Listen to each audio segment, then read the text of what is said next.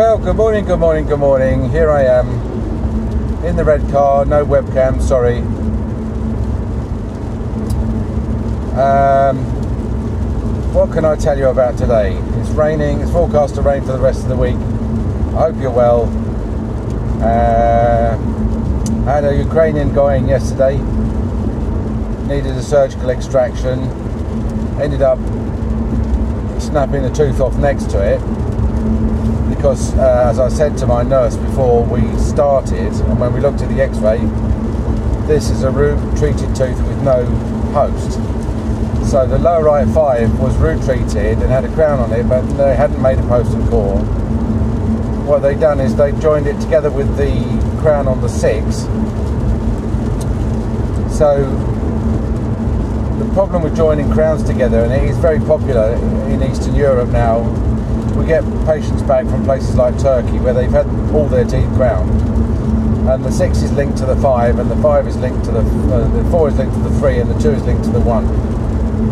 So um, it gives you a problem of what to do. You know, if you lose one of those two teeth, what do you do? So. Um, so not only did I end up having to do a surgical extraction because it was a root filled tooth, but we had to um, make an impromptu post for the five because it broke off.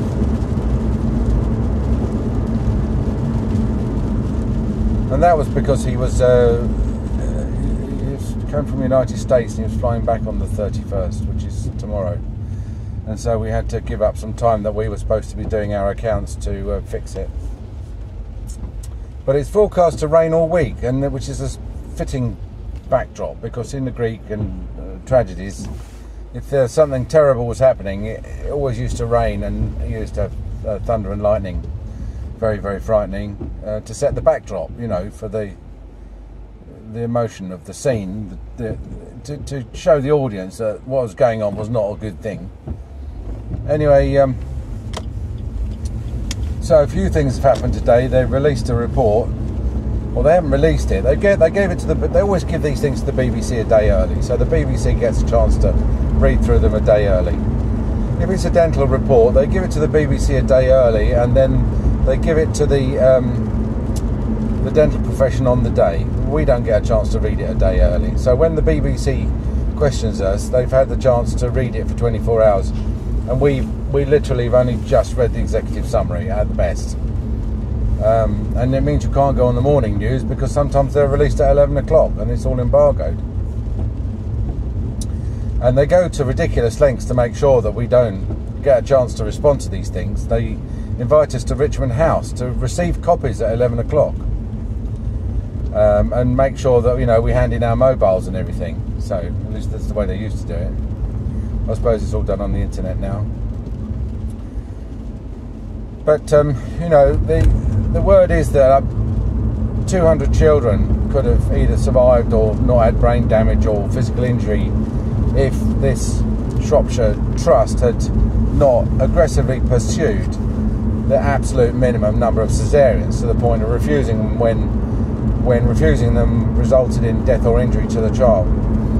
And of course, the trust itself is a nebulous, amorphous thing, and the trust has accepted responsibility. But what is the trust? You know, the trust is just a legal entity.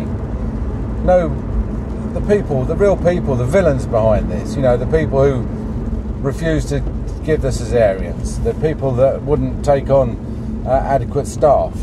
Uh, the uh, executives and management that were in charge of the service uh, that you know that was providing an, an, inferior service because they were monitoring it on uh, using metrics such as number of uh, natural childbirths instead of the number of children who died or injured in, in you know as a percentage of children born. Um, none of these people are in the frame. None of them.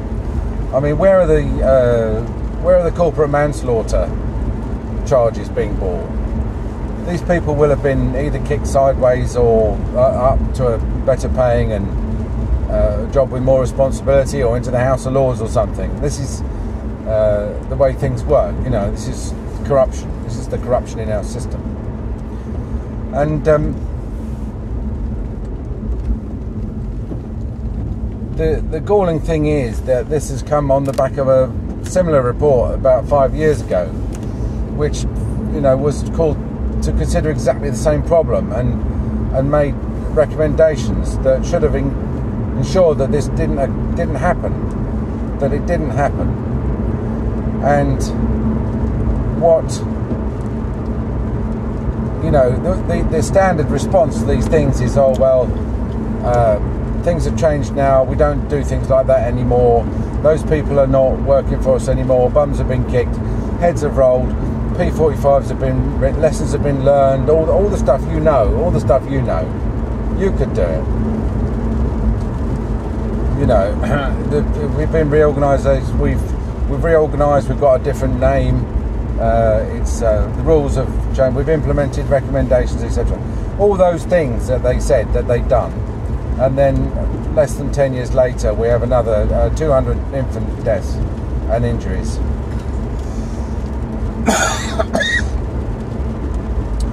so when they're um, in this report, you know, they've looked, they confined themselves to what went wrong at the trust.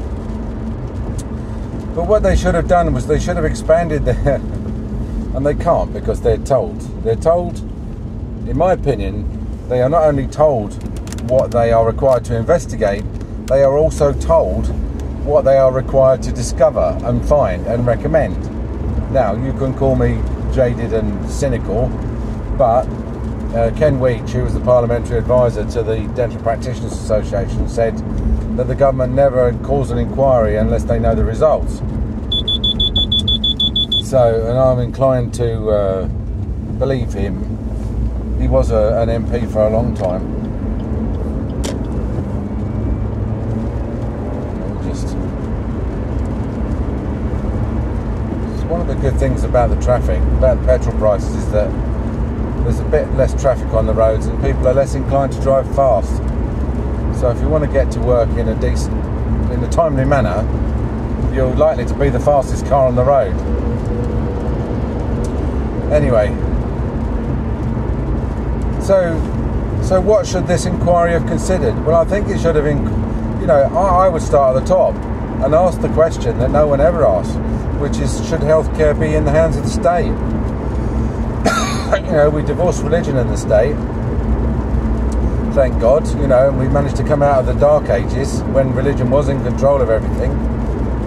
We haven't divorced uh, the state and money. We haven't divorced the state and education. We haven't divorced the state and healthcare. Except insofar as there are people like me that are working outside the system and sort of keeping the flame alive and proving that uh, it, it, can be done uh, differently and better. But of course, we're labouring under the handicap of um, asking our patients to pay for the National Health Service and their private care, not one or the other. As in other countries, a bit like Germany and uh, France, where you know you pay you pay for the state system, and then you, if you wanted something better, you just find the difference in the UK, we've always been very proud about the fact that you you pay for the state system, and if you want to go privately, you have to fund the whole lot again. So, and the reason behind this is that um, you know, if you take, let's say, you take for example a dentist. Let's say just he's making a, a denture or something, and you say to the patient, "Look, I, you know, this dentist's got quite soft plastic teeth on it." Because within the NHS fee, that's all we can afford that's what's compromised on the NHS. Uh, quality of materials, quality of laboratory work, and the time available. But if you wanted us to spend a bit more time getting it to fit a bit better, take some better molds, using better molding material, and etc., etc., then um, what we need is about another 20% on top. But as a result, you'll get a very good denture. and you still get your NHS subsidy, so it's not like um, you'll feel like you're paying your national insurance for nothing because you will be getting it back, you know.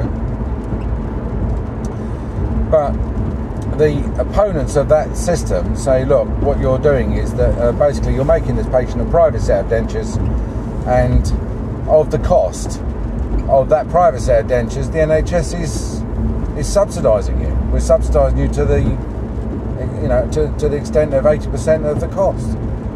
And it's not the NHS's business to um, subsidise private sector dentistry. If you want private dentures, you pay for private dentures. Don't go with your hat in your hand to the National Health Service asking for uh, some uh, money back, like bloody Oliver Twist.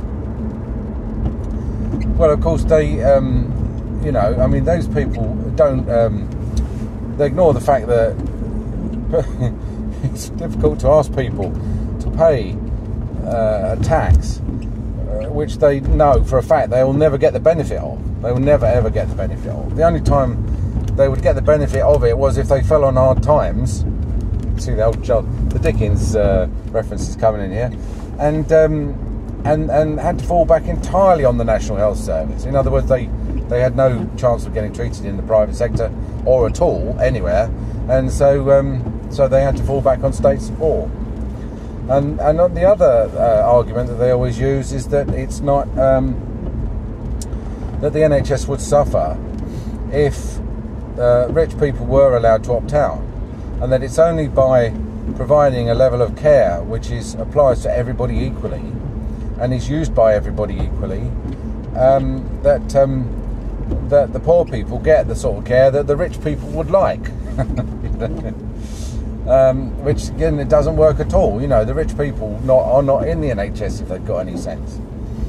They're not. Uh, so it's not like uh, poor people ride on the coattails of the sharp elbowed rich in terms of bumping up the quality of NHS care. That just doesn't happen.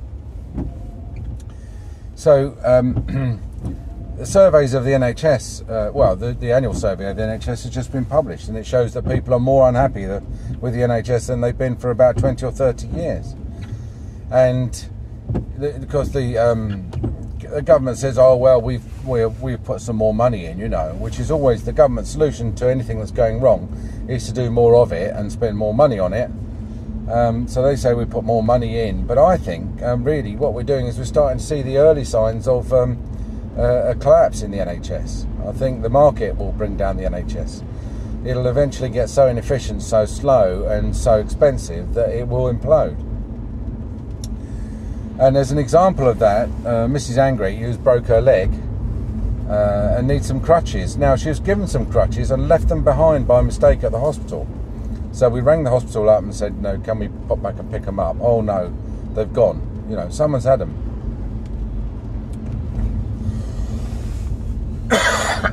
Excuse me. So we said, well, how do we get a pair of crutches? Oh, well, I don't know. You know, you'll have to ring the physiotherapy department physiotherapy department says, "Oh, um, uh, you need to come in and um, be risk assessed." Uh, health and safety requires that you come in and be risk assessed and, and fitted for the crutches.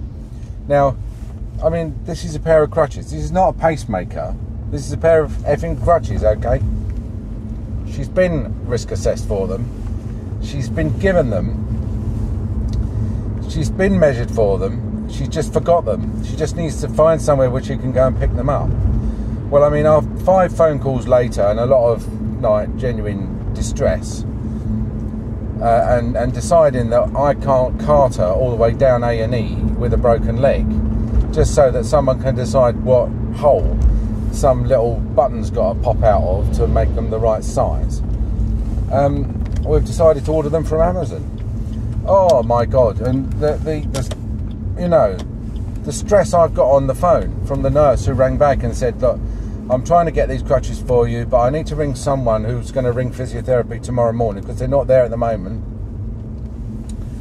And uh, you know, and I said, look, the problem's been fixed. You know, I've got a friend called Jeff who says he can have them here tomorrow, a pair here tomorrow for twenty quid and uh, you know probably come with instructions but if not i'll go on youtube and there must be 20 videos on how to adjust a pair of crutches. Just a simple pair of crutches right? To make sure that they're the right size for your height. But no they're so precious you know. Oh you mean you don't want me to ring the physiotherapy no i don't want you to ring the physiotherapy oh well in that if you don't want my help if you you know there's no helping people like you. There's no helping people like you. So she didn't say that, but I mean, you know, this is the sort of the attitude that you know, you're you're. Um, we don't want people like you who can uh, who demand. Uh, uh, you know, that things are done simply and quickly and cheaply. Wait, I want to make about five phone calls and and uh, and possibly defer your crutches until your fracture clinic review, which is in two weeks, which will be three weeks later than the consultant has said that you should be up and about on crutches. It's compromise, you know, compromise again. Perhaps perhaps your consultant can order, perhaps his secretary can order you a pair of crutches. I'm like, no, I said they're on their way. They're, I've had an email saying they're already in the post. So, and uh, we'll get them and, and, we'll fit them, and uh, the uh, bloody uh, precious physiotherapist can go and take a long walk on a short pier, can't they? Because we're doing it ourselves, aren't we? The only way. You've got to be self-sufficient, man. All right. I'll uh, I'll talk to you later. All right. Bye.